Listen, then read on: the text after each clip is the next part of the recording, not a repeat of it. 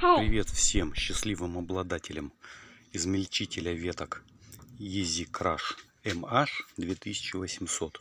Смотрите, какая ситуация. Взял аппарат, как полагается у другого человека, в кратковременное пользование, блядь. Смотрите, что произошло. Когда крушил ветки, все было замечательно. Выключил, пошел вытряхать корыто. И вот те здрасте прислали Настю, блядь. Он больше не включился.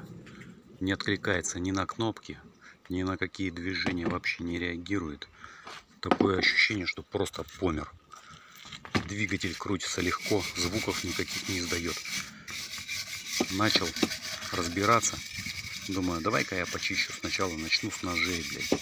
Снял диск, начал откручивать. Все винты, блядь, закоксовались, заросли опилками не откручиваются. Ладно, это полбеды. Смотрите дальше. Музыка включись. Вот так вот выглядит кнопка включения-выключения и защиты. С обратной стороны это корпус этого аппарата. Вот так называется это. Блин, надятина. Алко 2800.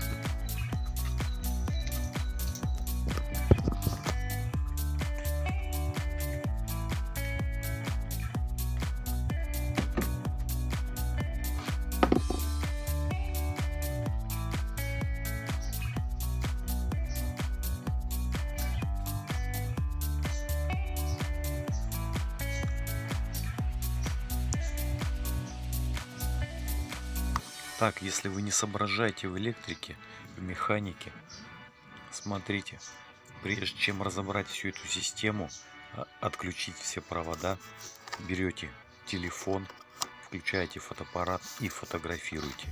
Если нет телефона, записывайте на бумажку, чтобы у вас было все понятно, все расписано. То есть, видите, у меня нет вилочки, я просто скотчем. Так, смотрите внимательно. Аппарат имеет два концевика, вот таких вот красных, которые спрятаны. Один стоит под низом, другой наверху. Это конденсатор.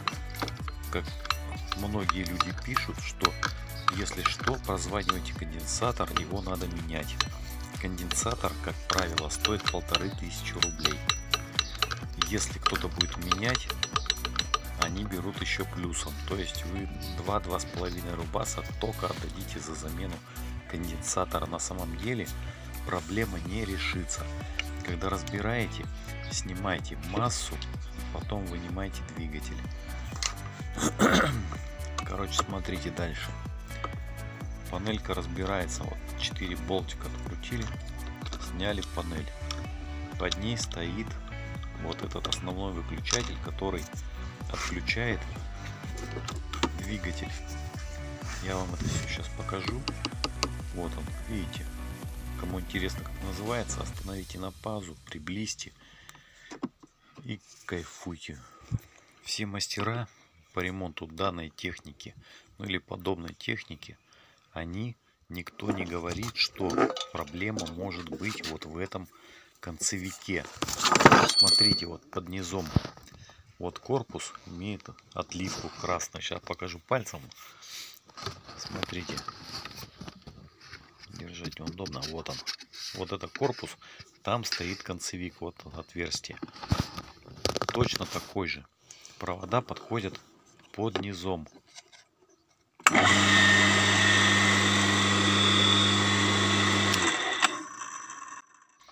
То есть вся вот эта конструкция спрятана. Два концевика. Смотрите, вот эта крутилка барашек. Если вы его не закрутите, смотрите, что происходит. Видите, я выкручиваю, двигатель выключается. То есть, если будет выкручено, у вас двигатель не включится. Также и снизу. Если корыто будет вытащено и красная ручка там не будет поднята, у вас двигатель не заработает. Два концевика делают свое дело.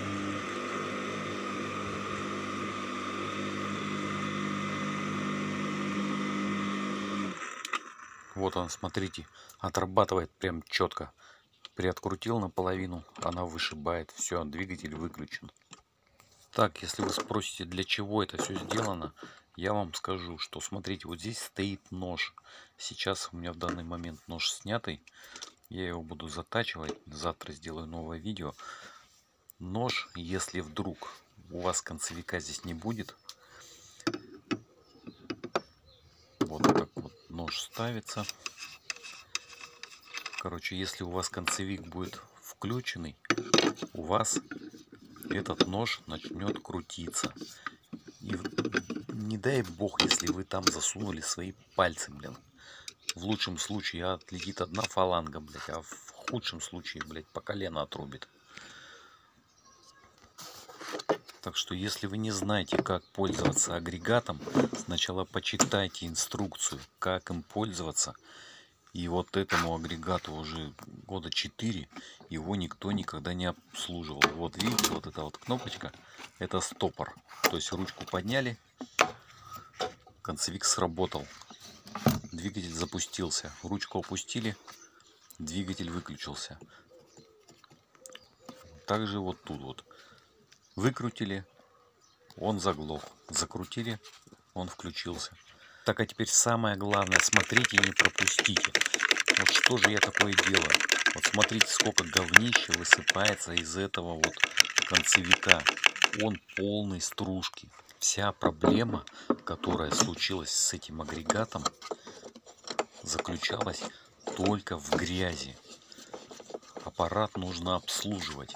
То есть хотя бы раз в год, если ты хорошо промял ветки прорубил какую-то там свою лесополосу, ты его должен взять и почистить, хотя бы пропылесосить. А все, что вам там мастера, которые по ремонту там поют, вам надо заменить двигатель, заменить конденсатор. Это все хрень полная. Это высасывание денег. Всего лишь надо его было почистить и все. То есть, если вы уверены, что у вас сгорел двигатель или вы не знаете, что сделать, возьмите, пометьте этот двигатель, пометьте все свои агрегаты, которые стоят внутри, лаком для ногтей, чем угодно. Снимите это на видео и отдайте в ремонт. И пусть они вам вернут все старые запчасти, чтобы вы были уверены, что действительно у вас они поменяли на новые. То есть вот такая вот проблема. Это только грязь. Аппарат собирается, разбирается. Все работает.